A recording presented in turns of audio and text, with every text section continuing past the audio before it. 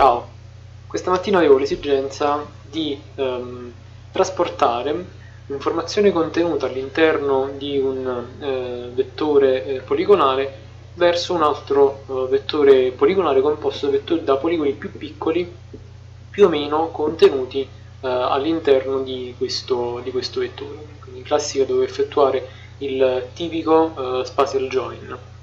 Ora eh, in questo video vi faccio vedere come è possibile effettuare questa operazione con un semplice eh, script in eh, SQL eh, attivato all'interno di PostGIS.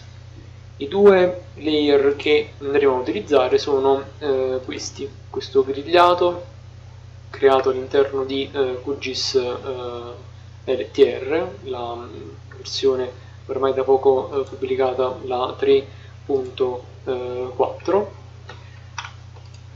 e eh, un altro vettore di eh, poligoni più piccoli, eh, esagonali, creato sempre eh, attraverso QGIS eh, con la funzione praticamente di eh, create grid, quindi in maniera molto automatica, molto semplice da, da, attivare, non te la farò vedere perché è davvero, è davvero banale. E utilizzeremo questi due vettori per effettuare un semplice, un semplice test. Allora, quello che voglio ottenere io è che al termine di questo test venga generato praticamente un nuovo uh, vettore di tipo poligonale che oltre a queste due informazioni contenga anche l'informazione relativa all'area di ogni singolo uh, esagono e anche l'informazione relativa alla tipologia che è presente all'interno del uh, vettore di poligoni quadrati. Quindi passiamo subito in uh, PostGIS. Eccoci in uh, PostGIS, o meglio Postgres PostGIS. Ho um, creato uh, già un, un, database in cui ho importato i due grigliati che mi interessano. Andiamo subito ad attivare la console per inserire il nostro script. Lo script che andremo a inserire sarà praticamente questo qui. Ora te lo spiego con calma. Allora, cosa dice praticamente questo, questo script? È davvero il classico uh, script per lo spatial join. Allora, posto che da eh, griglia eh, quadrata, cioè quella che abbiamo visto eh, in precedenza, eh, che vado a definire A e griglia esagonale che vado a definire B, mi devi definire l'intersezione, o meglio il, il eh, st contents va a definire uh, quello che viene contenuto in un poligono rispetto uh, a un altro. E in pratica mi vai a definire ehm, questa, appunto, questo contenimento del st point on surface praticamente il centroide contenuto realmente all'interno di un poligono ora vi spiego uh, più, uh, in maniera più uh, dettagliata.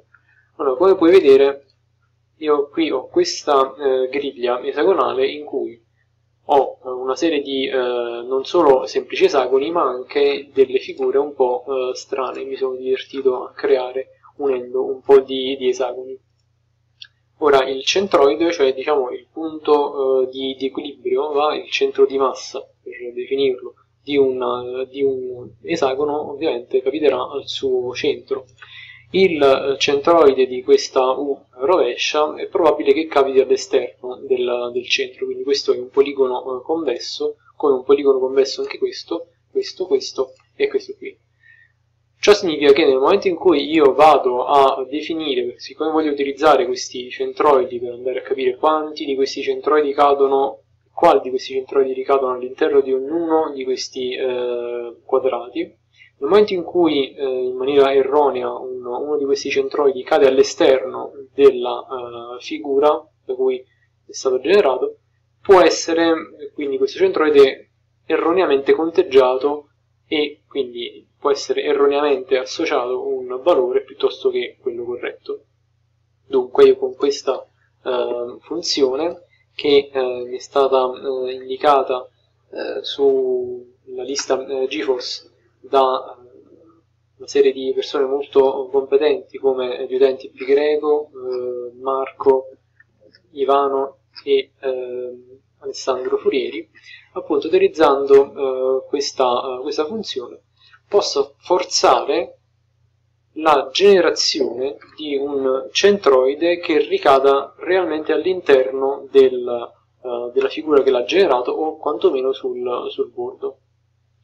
Quindi, tornando a noi, io praticamente in questo modo vado a dire che i centroidi eh, della griglia esagonale devono eh, ricadere eh, non solo all'interno della figura stessa che li ha generati, ma grazie alla funzione setConstant devono poi prendere un'informazione dal quadrato eh, in cui eh, ricadono, quindi dal quadrato che appartiene appunto a griglia quadrata. E qual è l'informazione che mi serve? È tipologia. E lo vado appunto a specificare qua. Quindi dico in questa, in questa parte qui di select che mi serve feed geometry evento di griglia esagonale quindi questo B che c'è qui, griglia esagonale, e il feed, quindi eh, l'id eh, di eh, griglia quadrata insieme con quell'altro dato che mi interessava che era tipologia. Poi vai ad aggiungere a questa selezione che crei anche un campo area in cui vai a definire l'area di ogni singolo, um, di ogni singolo uh, esagono o comunque figura uh, esagonale calcolata in, in ettari. Andiamo a vedere appunto il risultato di questa nostra elaborazione. Come vedi la query è molto molto uh, veloce, ora questo è solo tabellare, andiamo a creare una view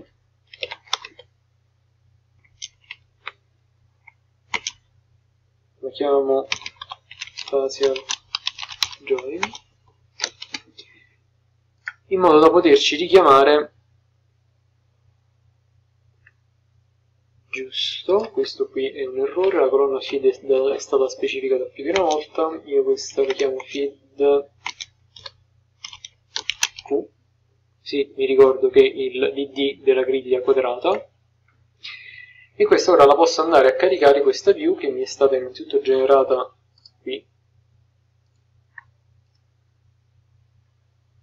eccola qua, posso andarmela a caricare all'interno di, di QGIS.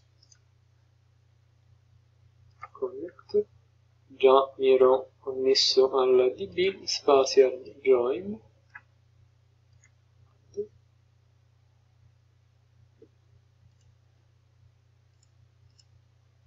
ed ecco qui la mia eh, griglia esagonale in cui ora sono presenti anche i dati relativi alla, alla griglia quadrata.